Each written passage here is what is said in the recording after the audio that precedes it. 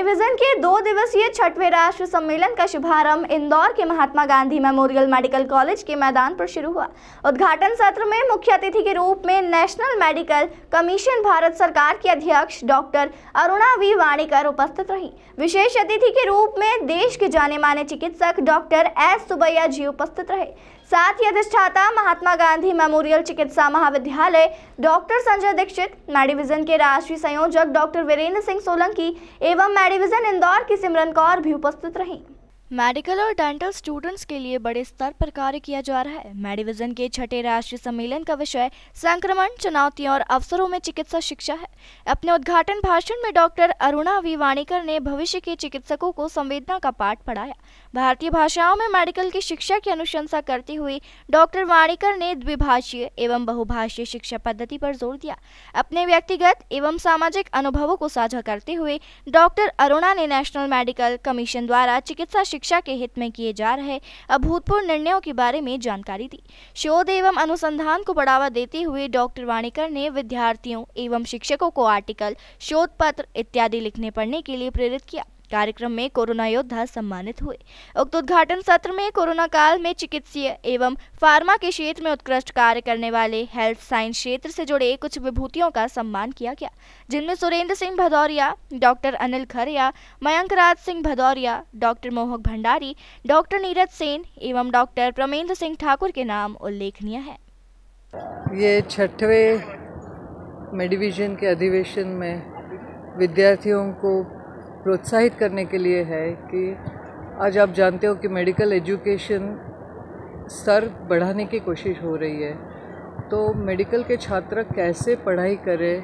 They should be good students education research और service तीनों का माध्यम होना चाहिए और उसके लिए विद्यार्थियों को गाइड करने के लिए ये बहुत अच्छा। पहली बात तो सिर्फ़ हिंदी नहीं बोला मैंने मैंने बाइलिंगुअल बोला है।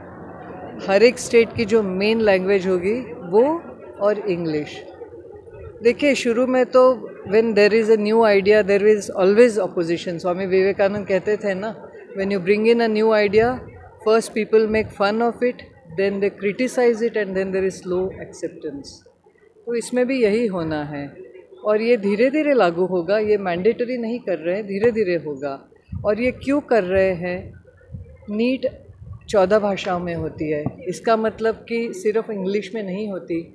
और जो छात्र बेस्ट होते हैं, वो ज़रूरी नहीं है कि इंग्लिश जानते हैं। Technical, they are very sound, लेकिन उनको इंग्लिश नहीं आती।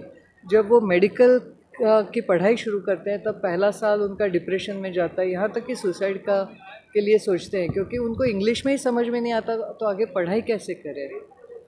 और पूरी दुनिया में अगर देखा जाए तो इंग्लिश में medical education hardly thirty to forty percent देशों में होता है और सब जगह अपने अपने देशों में अपनी भाषा में होता है।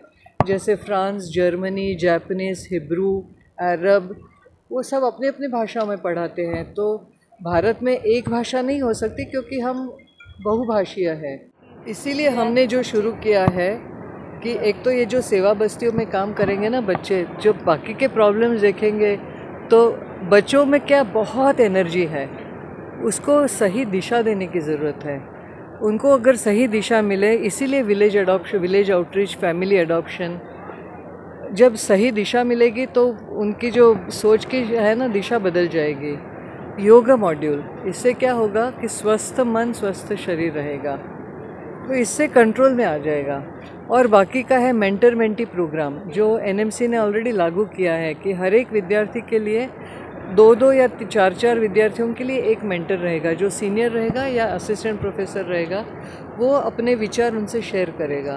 तो इससे रैगिंग के जो प्रॉब्लम्स है, वो भी कंट्रोल में आएँगे डिप्रेशन नहीं रहेगा धीरे धीरे होगा। ये एक दिन में होने वाली बात नहीं है, लेकिन काफ़ी कंट्रोल में आ रहा है।